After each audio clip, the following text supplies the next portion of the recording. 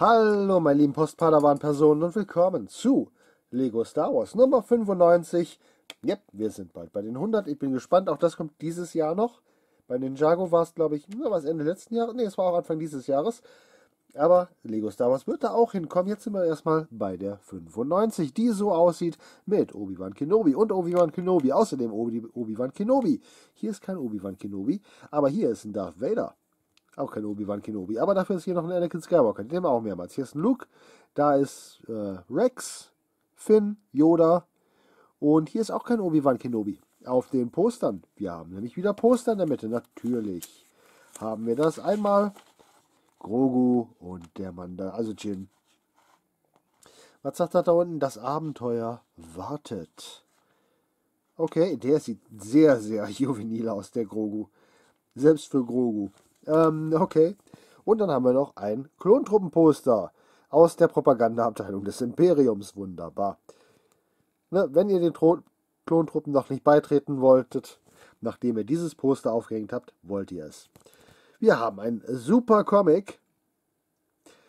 Wobei es ganz lustig, absolut goofy Sturm, Sturmtruppen. Und im zweiten Comic natürlich Obi-Wan, aber nicht diese Minifigur von Obi-Wan. Die kommt definitiv im ganzen Heft nicht vor, außer halt bei der Beilage, aber na gut, nah genug. Obi-Wan ist drin. Das muss dann auch mal reichen. Und ansonsten, ihr kennt das, Rätselcomic-Spiele und diese Sammelkarte von einem Breakdancenden R2D2. Okay, oder es ist von der Banane ausgerutscht. Eines von beidem. Aber ich will lieber glauben, dass es Breakdance ist, denn den Bananengag, den habe ich hier schon viel zu oft verwendet. Also, Breakdance und Obi-Wan. Ich glaube, das zweite Mal, dass wir im Heft eine Obi-Wan-Minifigur haben.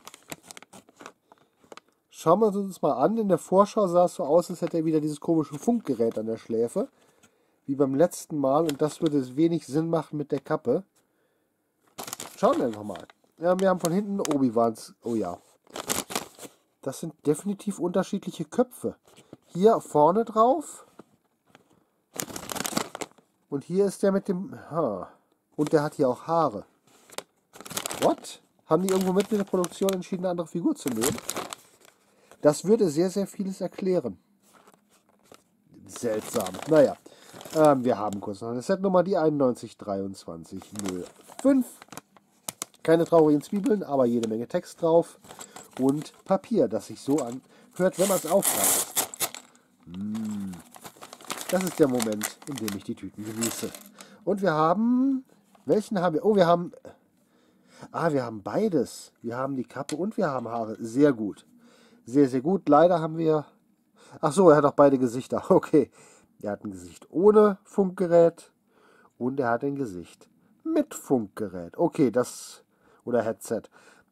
Okay, jetzt macht es wieder halbwegs Sinn, wieso da unterschiedliche... Die, das ist jetzt nicht so, dass das falsche Gesicht hier irgendwo drauf wäre, sondern er hat ganz einfach zwei Gesichter und die haben unterschiedliche Gesichter für die beiden Bilder hier benutzt aber vom selben Kopf. Okay. Okay, kann man natürlich machen. Muss man erstmal drauf kommen. So, wir haben erstmal den Körper, mal das Gesicht noch drauf. Oder den Kopf sogar den ganzen mit Gesicht.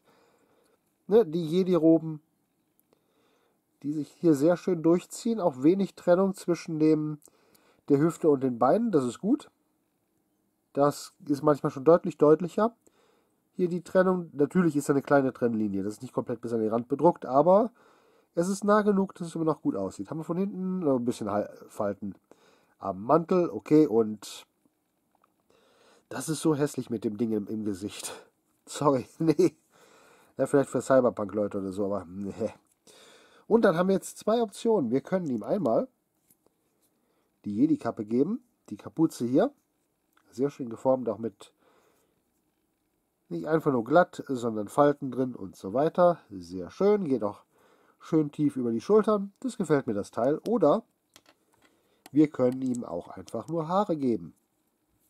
Das deckt den Kopf ebenfalls ab, also das zweite Gesicht komplett weg. Und dann haben wir ihn halt. Aber ich finde, das hier ist jetzt gerade spannender. Weil diese Kappen, die Kapuzen von den Jedi, die kriegen wir nicht so häufig. Sehr, sehr schön, dass die diesmal dabei ist. Das war in der Vorschau, glaube ich, auch nicht zu sehen. Da war der mit den Haaren auch. So, jetzt noch im Lichtschwert zusammenbauen. Richtig rum. Nicht, dass ich hier noch fiese, fiese Fauxpas begehe. Und dann kann er Licht rumschwerten gegen Darth Vader oder gegen wen auch immer. Wobei, der ist noch zu jung für gegen Darth Vader. Der muss noch gegen Anakin ohne Rüstung kämpfen. Oder ganz frisch in der Rüstung. Und dann haben wir hier immer so ein Haarteil noch übrig. Also entweder Haarteil oder eine Kapuze. Das ist ein ganz brauchbares Haarteil und die Kapuze finde ich auch klasse. Ne, wenn, wenn da ein paar Jedi noch übrig sind, die irgendjemand noch, noch bauen will oder auch mit Kapuzen ausstatten kann, kann man auch fünf davon nehmen. Gut, das wird wahrscheinlich teuer bei den Heften, aber die ist cool. Definitiv schön, dass wir mal beide Versionen bekommen in einem Heft. Das ist tatsächlich ungewöhnlich und gefällt mir sehr gut. Vorbildlich kann man weiter so machen. Kann man definitiv äh, weiter so machen. Mal gucken, wie die weitermachen. Die machen weiter bei Lego Star Wars mit keiner Minifigur, sondern einem Y-Wing. Den gibt es am 20. Mai. Und ansonsten geht es bei den Heften weiter am Dienstag mit Lego Minecraft. Und ja, ich weiß, ich bin hier einen Tag später. Aber das hatte ich ja schon vorher angekündigt. Ich war samstags nicht hier, sondern auf einer Klausurtagung. Deswegen musste ich das heute nachholen. Und das Video von heute kommt dann morgen. So ist es, so wird es sein. Ich sage bis dahin und viel Spaß beim Bauen.